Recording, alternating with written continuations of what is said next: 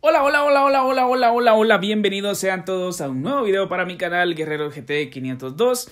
Yo soy Anderson y el día de hoy traemos un video informativo donde vamos a estar hablando acerca de algunos legionarios. Bueno, más de una semana sin subir videos eh, con mi propia voz, les subí por ahí la entrevista de Luis Fernando Tena, pero no había subido pues videos con mi voz por algunos problemas que tuve esta semana. Ya gracias a Dios los pude resolver y el día de hoy traemos este video informativo. Así es que sin nada más, vamos a pasar directamente a la información. Pero bueno, antes de iniciar con el video, como ya es costumbre, como siempre recordarles que se pueden suscribir al canal si aún no están suscritos, activar la campanita para no perderse ninguno de mis videos y dejar un buen like si les está gustando el contenido. Así es que ahora sí, no me enrollo más y directamente pasamos a la información. Bueno, vamos a iniciar hablando de Jesús Antonio López. Chucho López volvió a tener minutos en el América, esto en un juego amistoso entre el América obviamente y los Coyotes de Tlaxcala. Recordemos que porque es fecha FIFA aún no se está disputando la fase final de la Liga MX y además el América por haber ganado la fase de clasificación está esperando a los equipos que se van a enfrentar en repechaje para saber cuál es su rival. Y bueno, el América tampoco quiere perder el tiempo, por lo que jugó ante Tlaxcala y jugará este próximo fin de semana otro partido amistoso, posiblemente el día sábado, aunque todavía no se sabe el rival. Recordemos que Chucho López no jugó el último partido de la Liga MX ante Monterrey en un partido eh, pues que terminó en empate. Al final de cuentas el América no pudo ganar y pues vienen una mala racha, pero esperemos que en esta fase final puedan levantar la cara y sobre todo dar pelea en el título.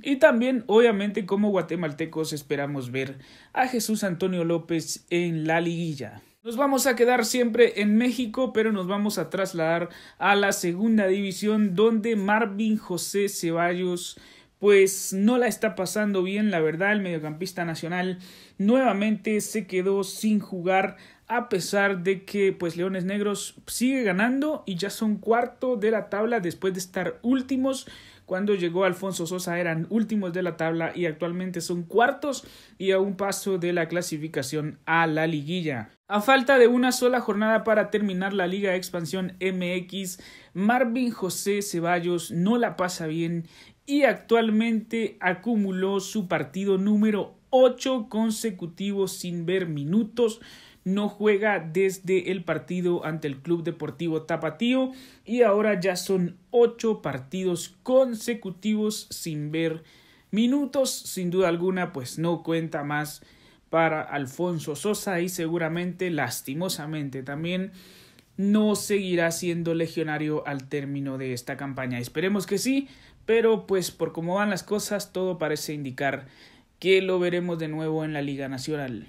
Ahora nos vamos a trasladar hacia los Estados Unidos y es que el juvenil guatemalteco de 18 años, Joscar Galván y el Union Omaha se clasificaron a la gran final de la USL One tras derrotar por goleada al Tucson FC 6 goles a 1 este próximo sábado. Veremos ya al campeón absoluto de la USL 1. Recordemos que el Union Omaha pues ganó la fase regular, son los campeones de la fase regular y actualmente se están jugando la fase final donde ya eliminaron al FC Tucson y ahora este próximo sábado los Búhos recibirán al Greenville Triumph, esto en la gran final de la USL One. Así es que este mismo sábado un guatemalteco podría ser campeón absoluto de la USL One. Ya fue campeón de la temporada regular con un récord histórico para el Union Omaha y ahora podría ser también campeón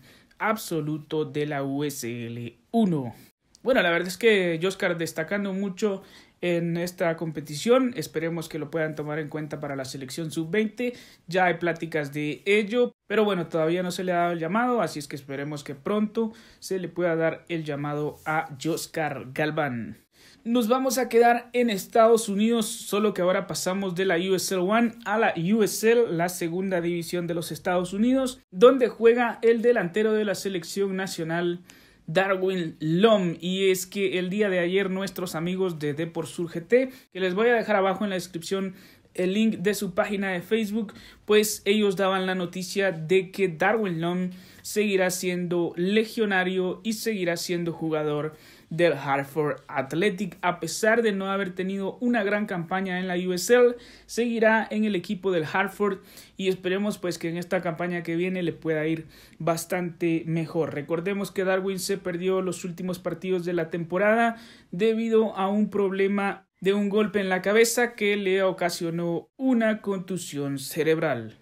Pero bueno, parece que Darwin está totalmente enfocado en hacer una mejor temporada, por lo que a pesar de ya estar en cierre de campaña, por lo que a pesar de que ya están en vacaciones, Darwin sigue entrenando y se sigue preparando para la pretemporada.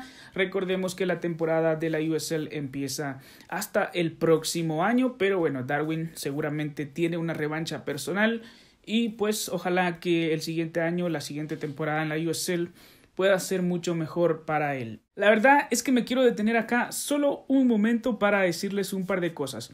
Yo he visto que le tiran mucho hate a Darwin Long. Yo espero que esto no sea así. De verdad lo digo de corazón, espero que no le sigan tirando hate. Independientemente si juegue o no en la selección, es un legionario y hay que apoyarlo. Muchos le dicen tronco, muchos le dicen que no va a servir para la selección nacional. Pero bueno, igual, si juega en la USL, seguramente Luis Fernando Tena lo va a tener en cuenta si ve que él hace una buena temporada. Y si ve que no hace una buena temporada no es necesario pues insultarlo ni mucho menos porque en los momentos donde se necesitaba un delantero él estuvo y quizá le faltó un poco pero marcó algunos goles y hay que destacar también que él nunca se negó a la selección nacional. Entonces yo sí creo que hay que ser agradecidos y pues eh, si juega o no en la selección eso ya será dependiendo de su nivel pero mientras esté en el extranjero o esté donde sea que esté, hay que seguirlo apoyando porque es uno más de nosotros y es un legionario más que representa a Guatemala.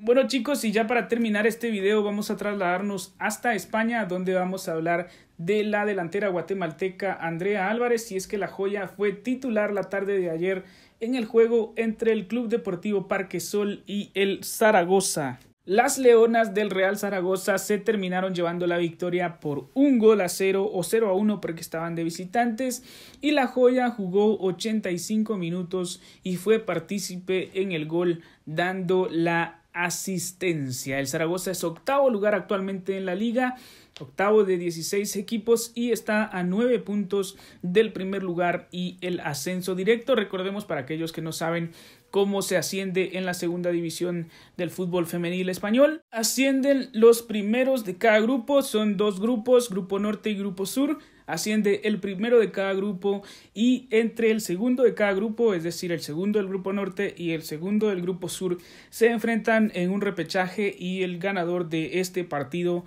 asciende también a la primera división para así tener tres ascensos de segunda a primera. El Zaragoza actualmente se encuentra a nueve puntos, aunque solo se han jugado nueve jornadas. Todavía queda muchísimo para que las Leonas puedan llegar a esos dos primeros lugares y pelear el ascenso a la primera división del fútbol español. Así es que bueno chicos, hasta acá la información del día de hoy. Yo espero que les haya gustado el video. Si es así, no olviden dejar su like. Y antes de despedirme, también quiero decirles que esta semana van a tener mucho contenido y les voy a adelantar posiblemente el video de mañana o de pasado mañana. Todavía no sé cuándo lo voy a subir pero vamos a tener un video de nuevos guerreros que hemos estado descubriendo esta última semana donde nos subimos contenido. Les quiero adelantar que hay varios chicos que son muy muy buenos y que nos podrían ayudar en selecciones menores. Así es que bueno, sin más, yo soy Anderson y nosotros nos vemos hasta la próxima. Chao.